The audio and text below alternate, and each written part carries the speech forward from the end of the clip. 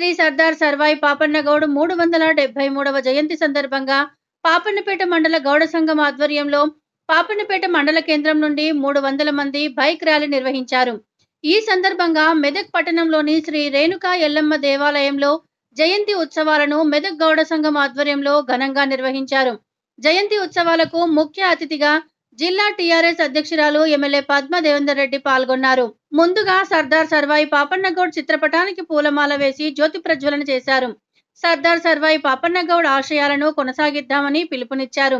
ఈ సమావేశంలో ప్రసంగిస్తూ శ్రీ సర్దార్ సర్వాయి పాపన్నగౌడ్ గెరిల్లా సైన్యం సైన్యంతో మొఘల్ రాజ్ సైన్యాన్ని విచ్ఛిన్నం చేశారని వారి అరాచకానికి చావు దెబ్బ తీశారని తెలిపారు.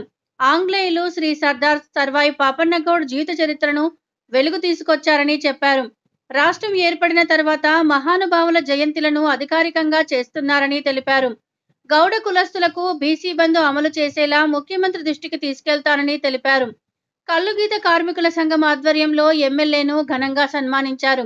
ఈ కార్యక్రమంలో municipal chairman Thodupunuri Chandrapal vice chairman ఆర్ఎల్ల Mallikarjun Goud Medak పట్టణ కల్లుగీత సంఘ అధ్యక్షుడు కిష్టాగౌడ్ ఏడుపాయల దేవస్థానం committee chairman Sathalli Balagoud BC సంఘం జిల్లా అధ్యక్షులు Mettu Gangaram ZP vice chairperson Lavanya Reddy Mutyam Goud Aravind Goud Gangadhar RK Srinivas Srinivas Babagoud Ragi Ashok Raju Gowda కులస్తులు పాల్గొన్నారు.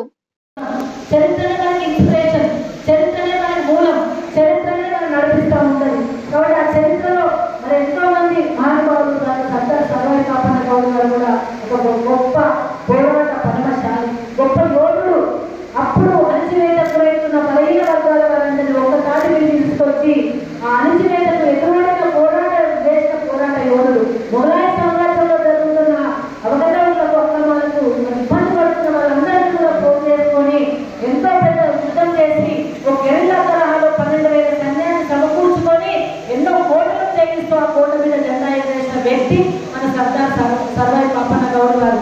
అప్పుడే గీత తన వృత్తిని కూడా మర్చిపోలేదు ఒక గీతాకారుని నైరుతి కూడా ఆ వృత్తి ధర్మాన్ని పోషిస్తూనే మరోవైపు అందరినీ ప్రోగు చేసుకొని అందరూ ఒక్కసారి మీద తీసుకొచ్చి ఎక్కడ అణచివేసి అక్కడ సర్దార్ పాపన్న గౌడ్ ఉంటారనే విధంగా అన్ని విధాలు కూడా పోరాటం చేసి గెలిచిన వ్యక్తి మన సర్దార్